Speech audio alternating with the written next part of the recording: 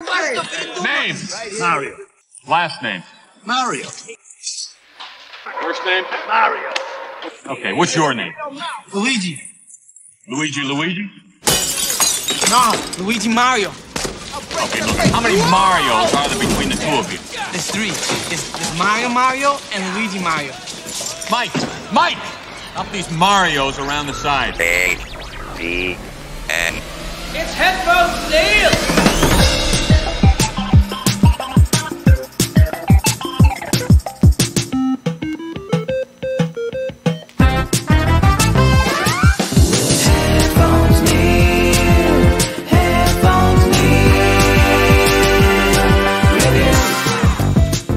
What's up guys, Headphones Neil here, back with another film review, and in this case it's the 1993 film Super Mario Bros., based off the video game of the same name. So I've been meaning to want to rewatch the film, just to see if it's as bad as everyone says. I've been rewatching some of the other films like Mortal Kombat and Street Fighter and things like that. And I want to say that Double Dragon, I think I watched Double Dragon maybe a year or two ago, so it's up for a rewatch. But I haven't seen Super Mario Brothers in a long time, and my memory of it pretty much matches the reputation of the film that it was not very good. Um, my only real positive memory of the film was I thought that the actors playing Mario and Luigi were good, but the rest of it felt like a weird fever dream, so I never really was able to get into saying that the film was anything particularly good. Um, so essentially, uh, or as luck would have it, I got I saw an article where someone had put the film up on Internet Archive with the deleted scenes from the film added in or interstitched into the film to make it one seamless experience. So there's certain areas where you can see the um, like in deleted scenes when you have the film timestamp or film code on it, um, that shows up. But for the most part, what the person was trying to do was interstitch the um, deleted scenes with a VHS copy of the film. So the overall look and feel of it pretty much stays consistent as if those deleted scenes were in the film. And they did a pretty good job. There's a few times when the sound kind of acts weird and the coloring's a little bit off, but if you're not really paying too close attention, then it the person actually did a pretty good job so that's the uh, starting point for the um, how I got to the watching the film. Now, as far as watching the film, on one hand, I want to say the film was better than I would have expected for the time, in that they got a lot of various elements from the video games included in the film, but the overall execution of the film was not very good because you could it feels like they were trying to it was like basically an alpha version of the Street Fighter film where they someone told them, "Hey, you need to include this in the film," and they did. But there's it was made by people who did not really seem to feel understand the theme of the um, game or anything like that. So it felt like they were introducing various elements into the film and trying too hard to please everybody, in which they ended up really pleasing nobody. So um, for example, like starting it off when we start the film, and this feels like it throughout, except for the ending. The sound soundtrack felt like a lot of the music when the Jawas are um, working away on their sandcrawler from Star Wars. Um, I can't. I'm not really gonna try to hum it, or basically, if you the music, that light uh, music that they that they play when the Jawas are around, felt like um, that was introduced into Super Mario Brothers with a slight remixed tune. So, um, in general, it didn't feel like um, I don't know. It just didn't feel like a Super Mario. Like they were trying to make a Super Mario Brothers tune, but not the Super Mario Brothers music, I guess, which was weird because at the end of the film they had a slightly or a mildly orchestral version of the film of the um, tune that we have from Super Mario Brothers 1. So they knew what the music was, so it would have been nice to have that music at the end all the way throughout the film as a um, as the theme for, for the movie, and it would have been fine as a orchestral theme. It didn't necessarily have to be an 8-bit tune, but to have music that wasn't didn't really feel like anything related to Super Mario Brothers was weird. Um, from there, um, the movie started off pretty good in that we have Mario and Luigi down on their luck and starting their feud with the Scapelli brothers, or the Scapelli plumbing service, and Luigi falls in love with Daisy, which I guess makes sense because Mario falls in love with Peach, but not in this film. He falls in love with some lady, and I don't think I noticed if he called her Peach or anything like that. So that was that's neither here nor there. But it turns out that Daisy is the key to, um, I guess, King Koopa or Koopa um, taking over the human world. I guess. Which was fine. So, in order to get into that world, she falls through a secret wall, and in order to get to that secret wall they fall they go through some plumbing so i thought that was a nice touch because from my memory of super mario brothers 1 i mean the plumbing and the pipes of course is the iconic part of the game overall so that i do remember but the game as far as super mario brothers goes has secret walls so if you know that they're or if you don't know that they're there then it's easy to miss but if you do know about them, it's a pretty nifty way to find secret levels or go through navigate through the game. And that was translated well enough here, so I actually thought that was a nice touch that they started off um, with the um, uh, so how they as far as how they um, started off the film. Um, next up, we have a line by Mario that where he says we're not in Brooklyn anymore. So I actually thought that that was a pretty it was a nice little touch as far as um, um, Dorothy, when Dorothy says we're not in Kansas anymore. So um, I don't know. I just thought that stood out as a nice line. I, otherwise, that uh, uh, and it was a good way to transition into going from you know the normal human New York level into the secret um, Koopa world.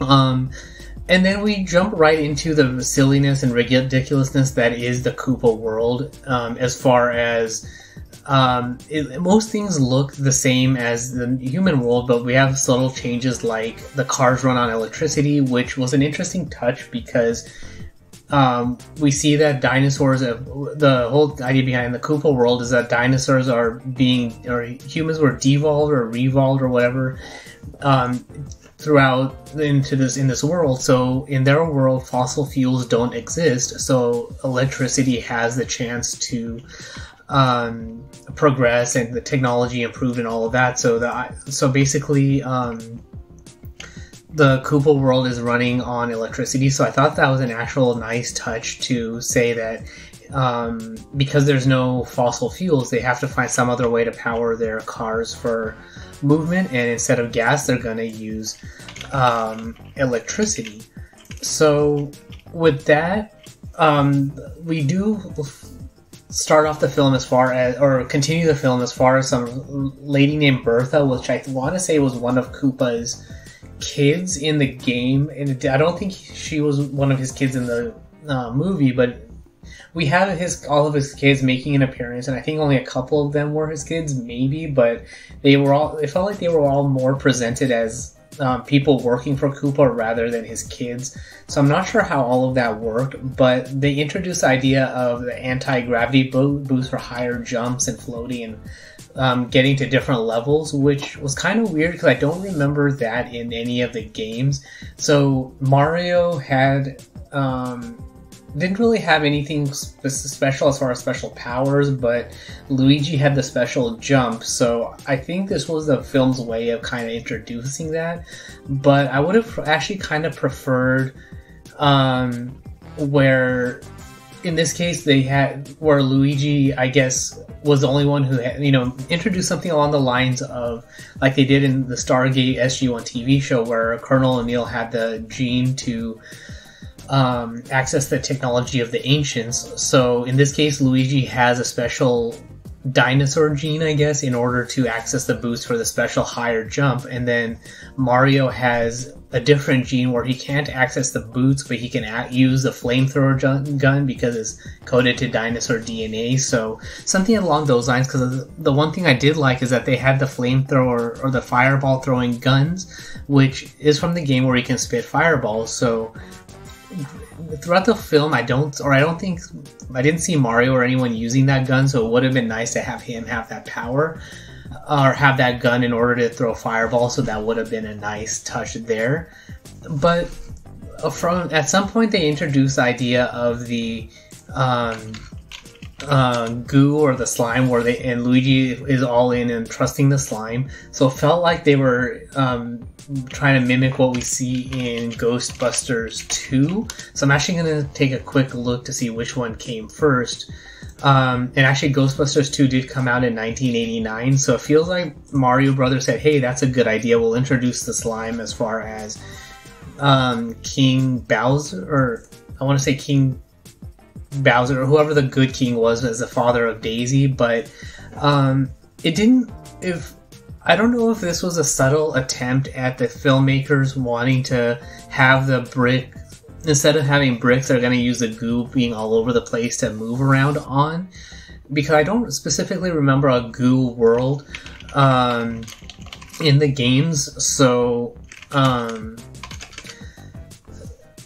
I want to say the goo definitely was weird, and it was hard to say that it's something I could get behind. But it feels like it was a subtle attempt, like I said, for to have bricks in the game or the color of bricks. So I would have preferred instead of the goo have the dinosaurs because they're are tied to the whole fossil fuel thing, where they instead of making cement, that everything is made out of clay and bricks and all. And I guess so something along those lines to have a brick world instead of cement or something along those lines, or make it where clay or, or the cars run better on clay instead of cement or something like that. So it's kind of weird, and I didn't really like that particular aspect. But it also feels like it could have been one of those things where the and, and it ties kind of to how the entire Koopa world felt a lot like um, Biff's Casino City when Marty and Doc Brown go back in time in the second film. So I don't know, just the whole theme of it felt kind of weird until they get to the end of the film when um, Mario and Luigi get stuck in the desert planet. So that felt more like a name drop than anything else. So basically, from uh, up until this point, like even the early points of Mario and Luigi getting to getting to the Koopa level all felt good and like the start of a good film, but then the rest of it kind of falls apart for me.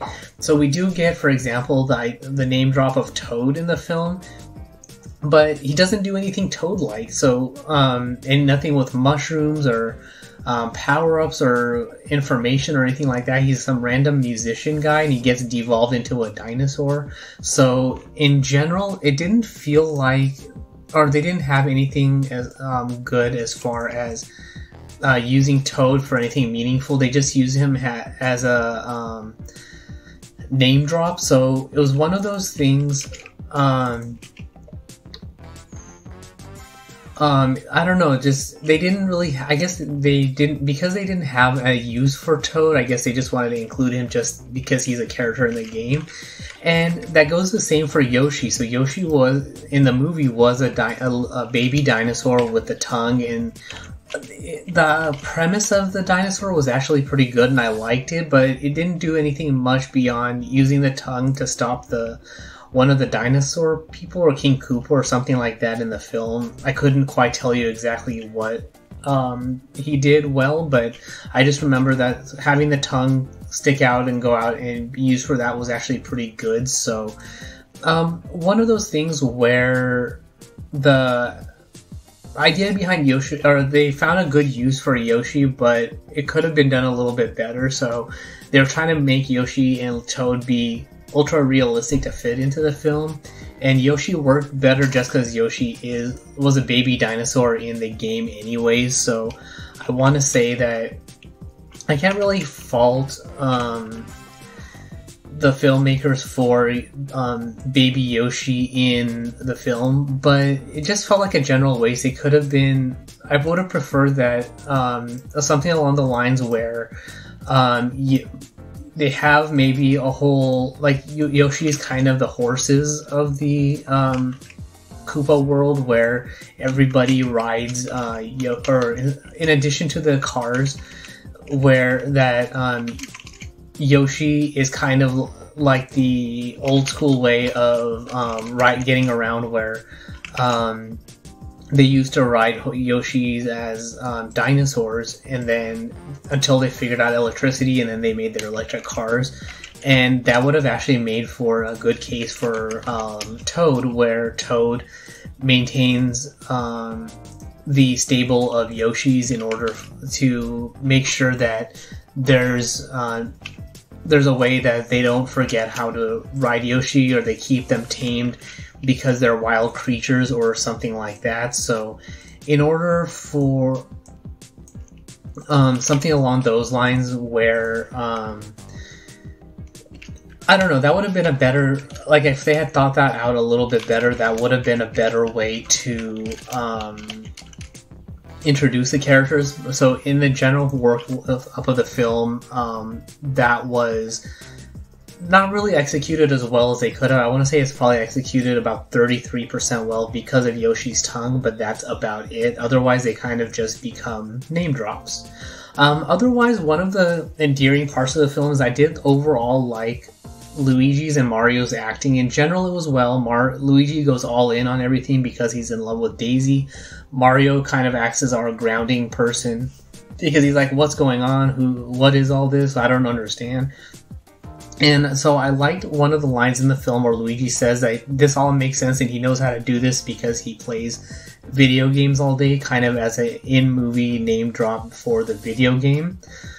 Um, otherwise, that's really about as far as that part goes that's about it um, and then the silliness of it i guess to build upon what the teenage mutant ninja turtles had as far as their turtles rap they have a koopa rap and that song was kind of whack um, kind of just probably for the staging i would have preferred a more concert like um, experience so um, having the street performers was i guess okay to fit in with the theme of the film but I don't know. It just felt kind of whack and a rip off of the Teenage Mutant Ninja Turtles rap. Uh, that was kind of the first thing I thought of. So they sh- it felt like they should have done it a little bit better. Um, and then one of the things that was actually very subtle in the film that um, I didn't notice the first time around when I, they first introduced the um, jumping boots is that um, the um, jumping boots had their own um, special effect sound, so um, it's a little. I can't even mimic that sound, but I actually like that they had a. Um, um, a special effect tied to it, so I want to give them props for doing that. So things like that, like little sound effects, actually worked out kind of well. Um, so I don't know. It's one of those things that I actually kind of like. So um, that was good. And then also when they had the the synchronized dan- dinosaurs dancing in the, to the elevator music, and actually and at the end of the film, I actually thought that was pretty good because that reminded me of the video game.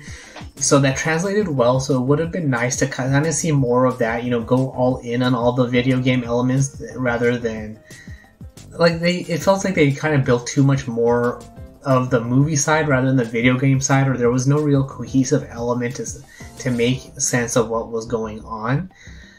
Um, otherwise, and then like know, also in the middle of the film, they have like a random wind tunnel, I guess, for Mario and Luigi to go to various parts of the building, which I guess makes sense because there was a wind level. I think there's a wind gliding thing in the game, if memory serves, but I couldn't remember. But I mean, sure, because like in the video game, you have the underwater level and you have to breathe for air. So this kind of worked for me, so I was actually okay with it because it kind of fits in with the themes of the video game.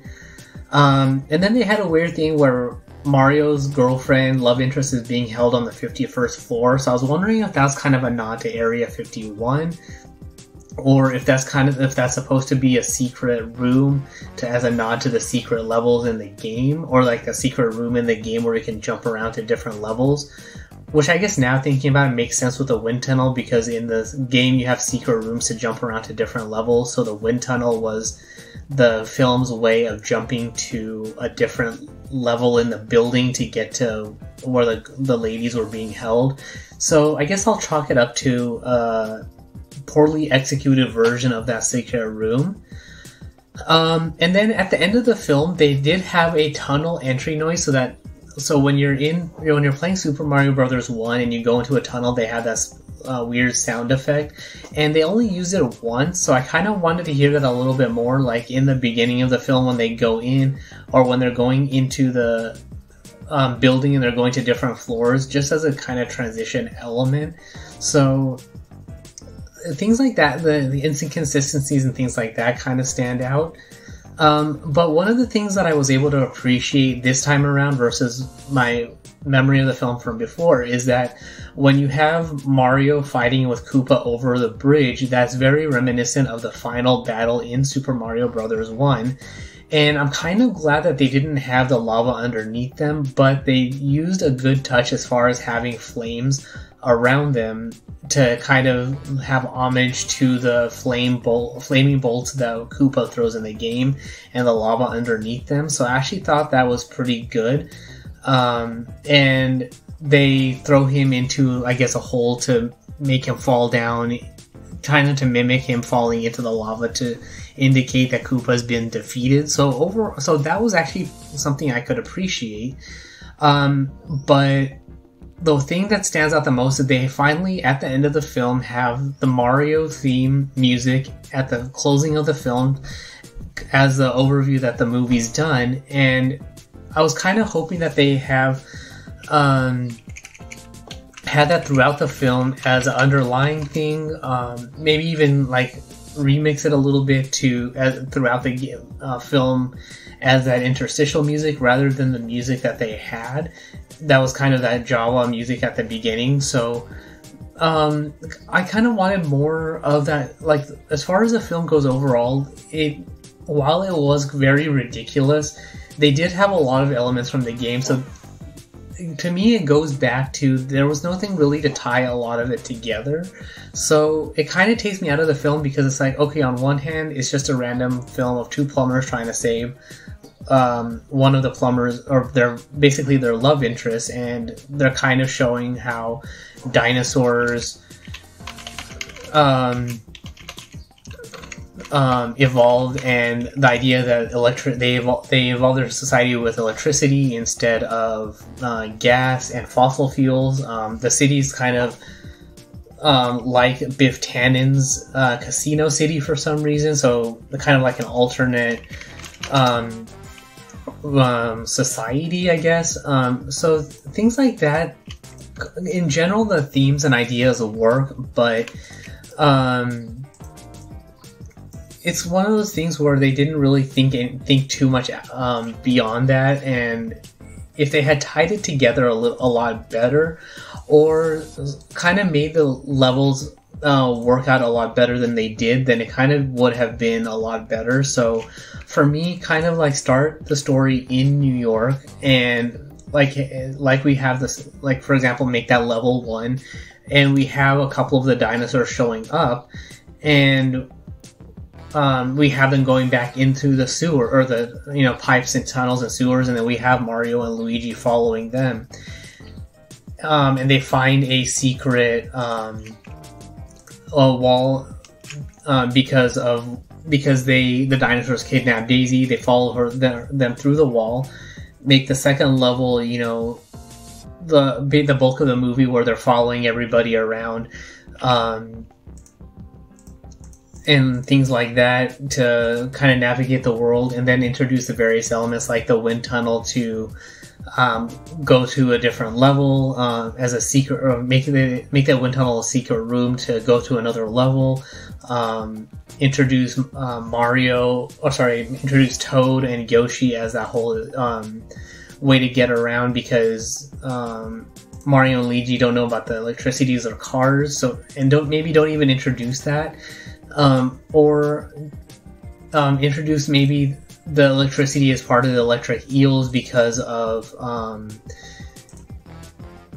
they're not necessarily underwater, but maybe the, there's electric eels in a special fish tank or something like that, and that power maybe the eels are the electric uh, are their power source or something along those lines.